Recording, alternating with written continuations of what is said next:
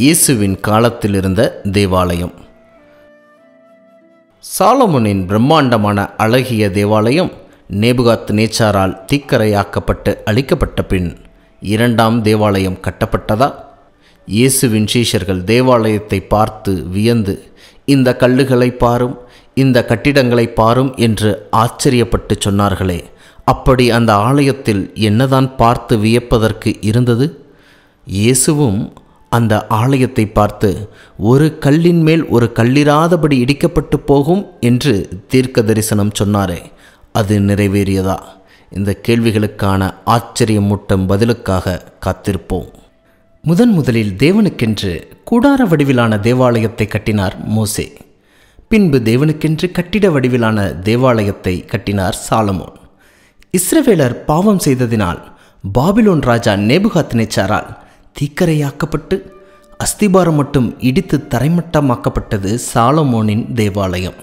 எழுபது வருடம் பாபிலோனில் அடிமையாயிருந்தவர்கள் விடுதலையான பின் செருபாபேல் தலைமையிலும் பிரதான ஆசாரியனாகிய யோசுவாவின் தலைமையிலும் எருசலேமுக்கு வந்து இடிந்து கிடந்த ஆலயத்தை இரண்டாம் முறை எடுத்து கட்டினார்கள். ஆயினும் அது சாலமோன் தேவாலயத்தை போன்று அழகும் மகிமையும் இல்லாதிருந்தது என்று வேதம் கூறுகிறது. ஆம் இஸ்ரவேலரின் மூப்பர்கள் சாலமோனின் தேவாலயத்தை கண்டவர்கள் அந்த மகிமை இல்லையே என்று நினைத்து அழுது புலம்பினார்கள். வருடங்கள் கடந்து ரோமராஜ்யம் உலகையும் இஸ்ரவேலர்களையும் ஆளுகை செய்தபோது ரோம பேரரசன் ஏரோது மன்னன் அந்த ஆலயத்தை மீண்டுமாய் புதுப்பித்து கட்டித் தருவதாக யூதர்களுக்கு வாக்களித்தான். அதை கட்டுவதற்காக தூர தேசத்திலிருந்து மிருகங்களைக் கொண்டு ஆயிரம் கிலோ எடையுள்ள கற்களையெல்லாம் சேகரித்தான். இவை அனைத்தும் சரித்திர ஆசிரியர்களின் பக்கங்களில் அழகாக எழுதப்பட்டு அகழ்வாராய்ச்சியிலும் ஆதாரங்களுடன் கண்டுபிடிக்கப்பட்டு நமக்கு சாட்சி கொடுக்கிறது. எருசலேம் போன்ற கூர்மையான மலைப்பகுதியில் நூறு டன் எடையுள்ள கற்களை கொண்டு செல்வது என்பது மிகவும் மிகவும் சிரமம்தான். ஆனால் வெவ்வேறு விதமான தொழில்நுட்பங்கள் மிருகங்கள் மனித பலத்தை பயன்படுத்தி ஏரோது மன்னன் அங்கே கொண்டு சேர்த்தான். இந்த கற்களை கொண்டுதான் ஆலயத்தை சுற்றின கோட்டை சுவரும் ஆலயத்திற்கான வலுவான அஸ்திபாரமும் போடப்பட்டது. ஆலயத்தின் கோட்டை சுவர் எவ்வளவு உயரம் தெரியுமா? ஆலயத்தின் கோட்டை சுவர் ஒரு கல்லின் மேல் ஒரு கல் வைத்தபடி முப்பது மீட்டர் உயரத்திற்கு அதாவது நூறு அடி உயரத்திற்கு மிகவும் நேர்த்தியாக கட்டப்பட்டது. இதை நான் எப்படி சொல்கிறேன் என்றால் இந்த கோட்டை சுவரின் மீதமான ஒரு பகுதி இஸ்ரேவேல் தேசத்தில் இன்னும் இருக்கத்தான் செய்கிறது. அதனை வெஸ்டர்ன் வால் என்று அழைப்பார்கள். மேற்கு பக்கமுள்ள ஒரு மதில்தான். அந்த மீதமான பகுதியை அளந்து பார்க்கும் பொழுது அதனுடைய உயரம் நூறு அடியாக இருந்தது. இன்னும் சில யூதர்கள் அங்கே முட்டி முட்டி அந்த பழைய தேவாலயத்தை நினைத்து ஜெபிப்பது உண்டு. அது மட்டுமல்ல மிகச்சிறந்த தொழில்நுட்ப கலைஞர்களை வெவ்வேறு இடங்களிலிருந்து அழைத்து கொண்டு வந்து பயன்படுத்தினார். ஆயிரம் ஆயிரமான யூதர்களும் ஆசாரியர்களும் ஆலய கட்டுமான பணியில் ஈடுபட்டார்கள். யூதர்கள் இரவும் பகலும் ஆலயத்தை கட்ட உழைத்தார்கள். மழையிலும் இடியிலும் கூட உழைத்தார்கள். ஆனாலும் யூதர்கள் வாரத்தின் ஏழாம் நாளாகிய ஓய்வு நாளை அதாவது சனிக்கிழமையில் விடுமுறை எடுத்துக்கொண்டு தொழுகைக்கு சென்று விடுவார்கள். ஓய்வு நாள் அவர்களுக்கு வெள்ளிக்கிழமை சாயங்காலத்திலிருந்து சனிக்கிழமை சாயங்காலம் மட்டும் அனுசரிக்கப்படும் என்பது குறிப்பிடத்தக்கது. ஓய்வு நாள் தொடக்கத்தில் ஆசாரியன் எக்காலம் ஊதுவான்? அதற்கு பின்பு அவரவர் தாங்கள் செய்யும் வேலையை நிறுத்திவிட்டு தொழுகைக்கு சென்று விடுவார்கள். இந்த ஆலயத்தில் புறஜாதியார் வந்து தொழுகை செய்வதற்கு ஒரு தனி இடம் அமைக்கப்பட்டிருந்தது. அதனால்தான் புறஜாதியான எத்தியோப்பிய மந்திரி எருசலேமுக்கு வந்து தொழுகை செய்து கொண்டு போக முடிந்தது. யூதர்கள் வந்து தொழுகை செய்வதற்குமான தனியிடமும் இருந்தது. ஆசாரியர்கள் பணி செய்வதற்கான இடமும் அங்கே இருந்தது. அங்கே சாலமோனின் மண்டபம் என்ற இடமும் இருந்தது. அங்கேதான் ஆண்டவராக இயேசு கிறிஸ்து அதிக மணி நேரம் செலவு செய்யக்கூடிய இடமாக இருந்தது என்று நாம் வேதத்தில் வாசிக்கலாம். அவர் பரமேறி போன பின்பும் ஆண்டவருடைய சீஷர்களும் அந்த மண்டபத்தில்தான் அதிக மணி நேரம் செலவு செய்தார்கள். அது மட்டுமல்ல ஆதி திருச்சபை ஒரு மனதோடு கூடியிருந்த ஒரு இடம் என்றும் நாம் சொல்லலாம். இதையெல்லாம் அப்போஸ்தலர் மூன்றாம் அதிகாரம் பதினோராவது வாக்கியம் அப்போஸ்தலர் ஐந்தாம் அதிகாரம் பன்னிரெண்டாம் வாக்கியத்தில் நாம் வாசித்து தெரிந்து கொள்ளலாம். சாலமன் கட்டின தேவாலயத்தில் உட்புறத்தில் மட்டும்தான் தங்கத்தினால் சுவர் பூசப்பட்டிருந்தது. ஆனால் ஏரோது மன்னன் கட்டின இந்த ஆலயத்தில் வாசலில் உள்ள மேற்சுவரே தங்கத்தினால் பூசப்பட்டிருந்தது. அது தங்கத்தினால் பூசப்பட்டிருந்ததினால் சூரிய ஒளி அதிகாலையில் அதன் மீது படும்போது ஆலயம் பார்ப்பதற்கு மிகவும் மகிமையானதாக இருந்தது என்று ஜொசிஃபஸ் என்ற சரித்திர எழுத்தாளர் கூறுகிறார். சாலுமனை விட மிகவும் அழகுள்ளதாக இரண்டு மடங்கு உயரமான ஆலயத்தை ஏரோது மன்னன் புதுப்பித்து கட்டினான்.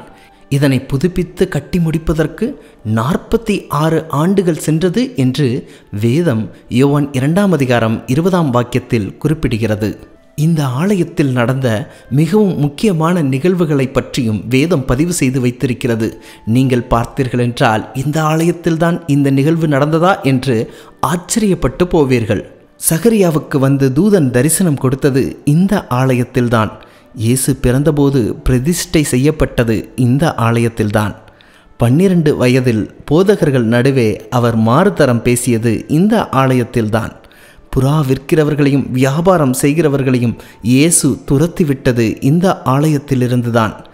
ஏழை விதவை இரண்டு காசை காணிக்கை பெட்டியில் போட்டபோது இயேசு பார்த்து பாராட்டியது இந்த ஆலயத்தில்தான். இயேசு சிலுவையில் மறித்தபோது ஆலயத்தில் உள்ள திரைச்சீலை இரண்டாக மேலிருந்து கீழ்வரை கிழிந்தது இந்த ஆலயத்தில்தான். இந்த ஆலயத்தை பற்றின ஒரு தீர்க்க தரிசனமும் நிறைவேறியது. அதை பற்றி நான் கூறுகிறேன். இந்த ஆலயத்தை பற்றி தான் சீஷர்கள் வந்து வியந்து இயேசுவினிடத்தில் வந்து கூறும் பொழுது போதகரே இந்த கல்லுகளை பாரும் இந்த கட்டிடங்களை பாரும் என்று பிரமித்து சொன்னார்கள். சீஷர்கள் மட்டுமல்ல யூதர்களுக்கே அந்த ஆலயம் பெருமைக்குரிய ஒன்றாகவும் அடையாள சின்னமாகவுமே இருந்தது.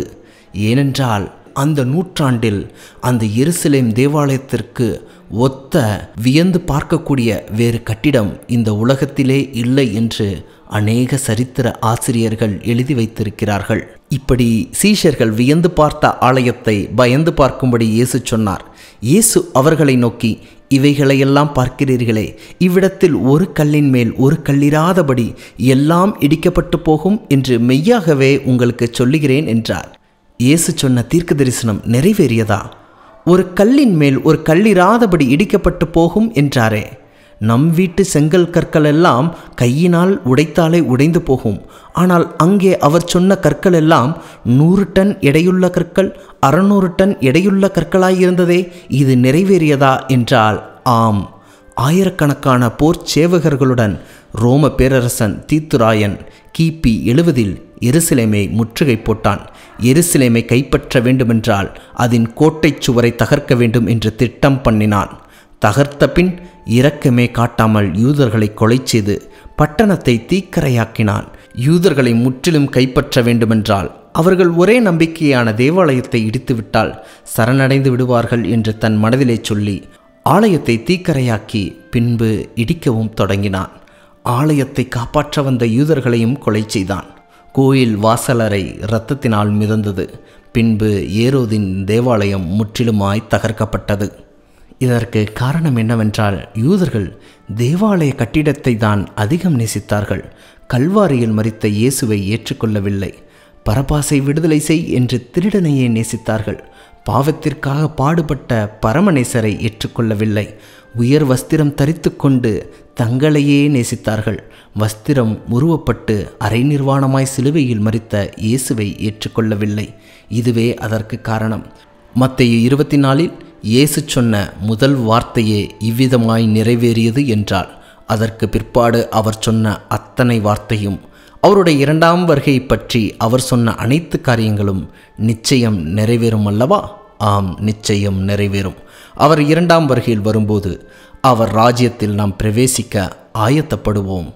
தேவன் பிரம்மாண்டமான கட்டிட வடிவிலான ஆலயத்தில் தங்க விரும்பவில்லை.